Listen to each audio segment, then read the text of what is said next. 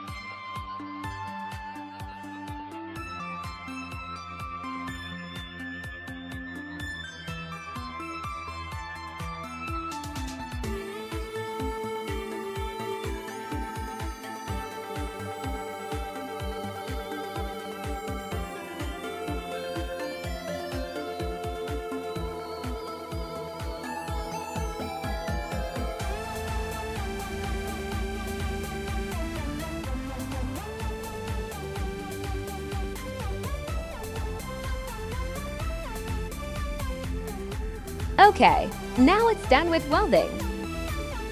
Now we wait for it to cool down. Just knock off the welding slag.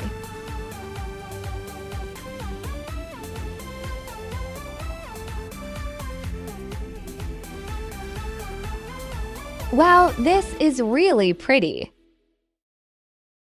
And that arc is absolutely wonderful.